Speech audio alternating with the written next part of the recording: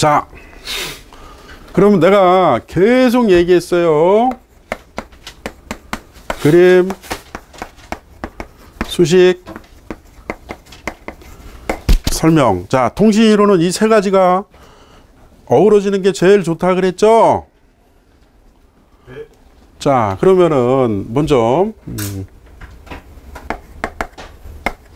음, 자, 이거 frequency transfer function이죠.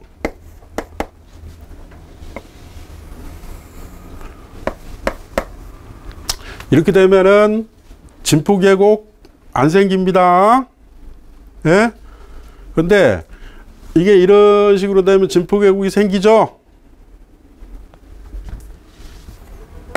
자, 이렇게 생기면은 위상 왜곡이 안 생기죠. 근데 이게 이런 식으로 되면은 유상 왜곡이 생기죠. 그래서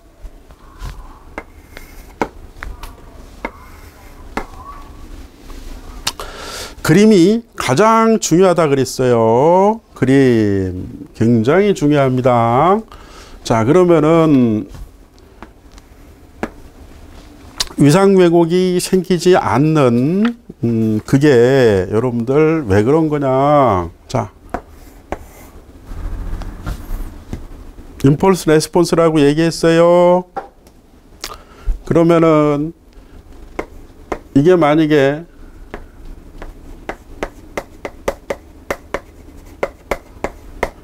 증폭기라고 한번 가정해 볼까요?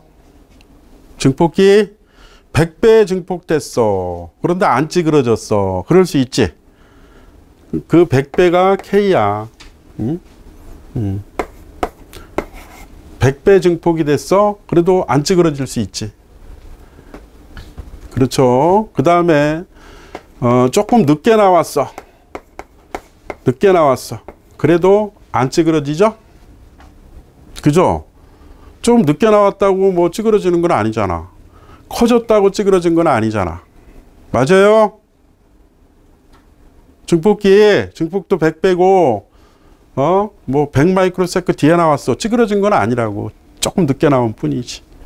그러면 이거 해석을 쉽게 하는 방법은 뭐라고 그랬어요?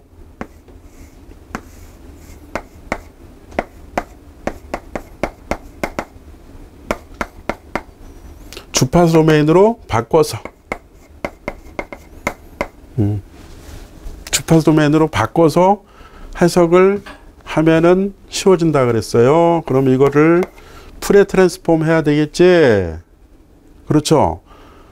프레 트랜스폼. 음? 그러면 자, 선형성 때문에 그대로 올 거고요. 요거는 요건데 요렇게 되는 거는 시간 이동성. 시간 이동성. 기억나? 시간 이동성을 어떻게 썼어요? 이렇게 썼나요? 자, 시간 이동성. 시간 이동성. 시간 영역에서 지연은 위상 영역에서 뭐가 된다? 아야, 주파수 영역에서 뭐가 된다? 위상 변화로 나타난다. 시간 영역의 지연은 위상 영역에서 위상 변화로 나타난다. 맞아요? 이게 위상 변화가 된 거잖아. 자, 그러면 여기서 여러분들 자, 우리가 어, frequency transfer function이라는 거는 입력 여기가 출력 요거를 transfer frequency transfer function이라 그랬어요. 맞아요? 자, 그러면 얘가 이쪽으로 넘어가면 여기에 남는 거는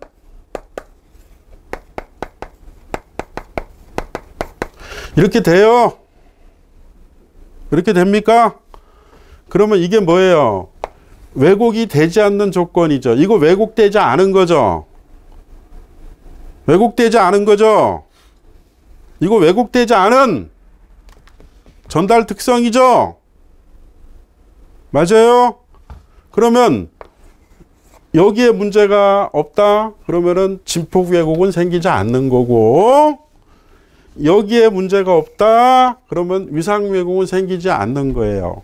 맞습니까? 이해돼요? 그러면 여기에 문제가 생기면 진표교육이 되는 거야. 그런 경우가 뭐가 있을까요? 여러분들 뭐 LPF 같은 거 통과시켜 놓으면은 이게 위상 왜곡이 되는 거야. 맞아요. 이게 이렇게 돼야 되겠지? 이렇게 되면 위상 왜곡 돼요? 아니, 진폭 왜곡이 되겠죠? 그래서 이거를 펴주는 device가 뭐라고 배웠어요? 펴주는 거. 응? 등화기라고 배웠잖아. 그래서 얘처럼 만들어주는 거잖아요. 맞아요. 등악이, 등악이. 자, 여기가 이렇게 안 되고, 이렇게 되면 이거 무슨 왜곡 생겨요? 위상 왜곡 생기죠? 그래서 이렇게 만들기 위해서 이렇게 해주면 이게 등하기가 그런 역할을 해주는 거예요. 됐죠? 자, 그러면은, 자, 여러분들, 내가 강조한 내용이 있죠? 도표로서 끝내라. 맞아요? 응? 자, 도표는 몇 개 이상 만든다? 네 개 이상 만든다. 무슨 법칙이냐? 법칙은 아니고요. 그냥 합격하기 위한 포장. 응? 여자들 하장하잖아. 그런 거를 얘기하는 거지. 무슨 뭐 도표는 네 개 이상 만들라는 법칙? 그런 거 없어요. 하장이야. 포장. 자, 그러면은 여러분들, 자, 여러분들 지금 도표 한번 만들어 볼까요? 응? 자, 이거 그림으로 들어가면 되겠지? 맞아요, 안 맞아요? 자, 이거 수식으로 들어가면 되겠지? 맞아요? 이거 설명으로 들어가면 되겠지? 어, 그러면 세 개밖에 안 되는데요? 아니지. 등하기, 적용, 대책, 이해돼요? 그게 되면 딱 네 개가 되지? 그래서 끝내는 거야. 그러면 이제 합격이 되는 거지. 아, 그래서 이 도표가 머릿속에 작성이 될 수 있는 사람은 내용 정리가 끝난 거예요. 저 말이 이해가 되겠어요? 그래서 내가 맨날 그림, 수식 설명, 그림, 수식 설명 얘기를 아무리 해도 시험은 누가 봅니까? 시험은 여러분들이 본단 말이에요, 여러분들이. 그러니까 제일 중요한 거는 여러분들이 답안 작성 연습을 하시는 게 제일 중요해요. 제가 아무리 뭐 명강을 해도 합격 못 하세요, 여러분들. 제일 중요한 거는 뭐 여러분들이 직접 답안 작성을 하면서 저걸 만들어 보는 훈련이 필요한 거란 말이야. 어느 분이 그러더라고. 아, 왜 학원 가는데 시험만 보냐고.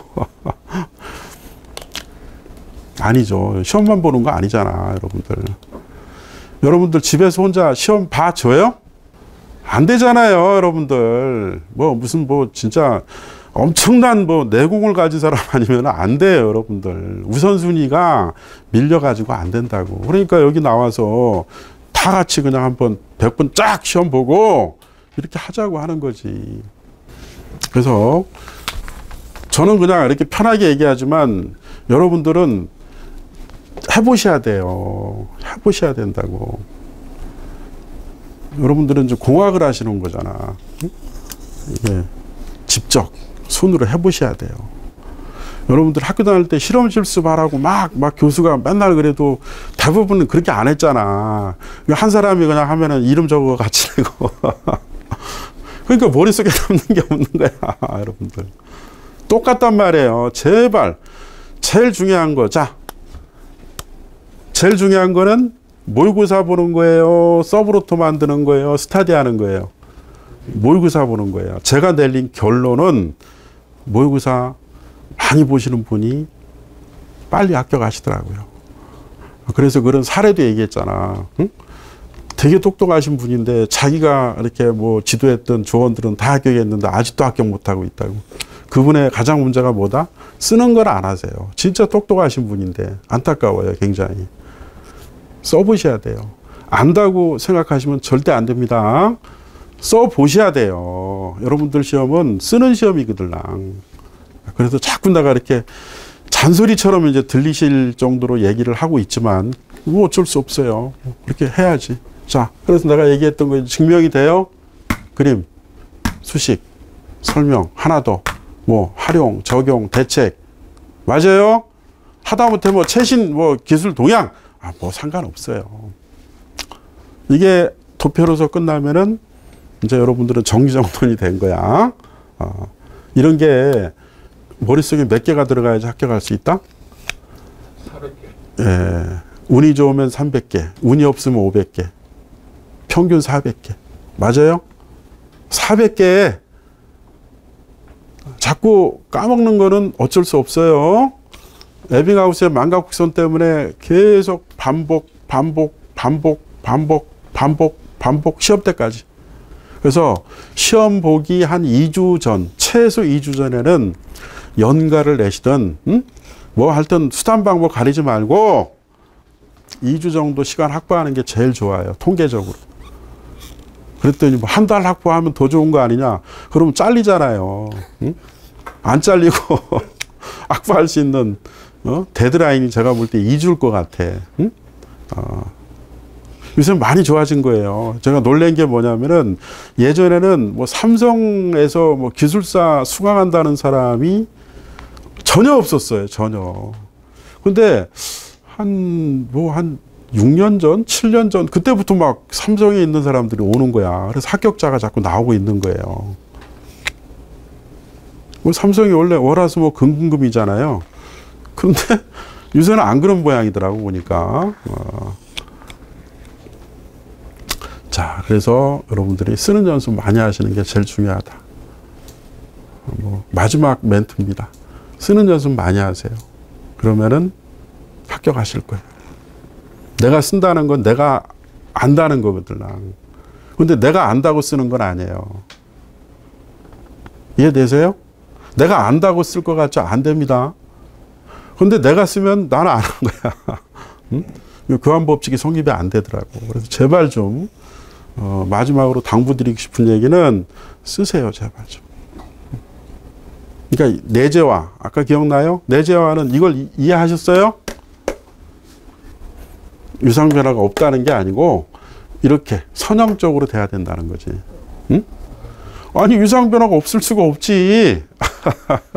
아니 이게 유상 변화라 그랬는데 오케이?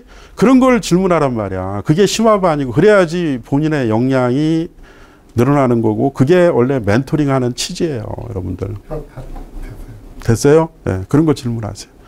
그러면 이게 더 이게 좀 뭔가 좀 업그레이드 되는 느낌이 드시죠? 어, 그런데 여러분들이 공부를 전혀 안 하고 오셨어. 안 돼요, 여러분들. 공부하고 오세요. 음, 하고 오시고, 아까 얘기한 대로 요, 어, 세 박자를 이렇게 가시면은, 이렇게 2년 훈련 받는데 합격 못 하면은, 그좀 이상한 거예요. 그럼 오늘 뭐 멘트는 여기까지 할게요. 예, 자, 수고했습니다.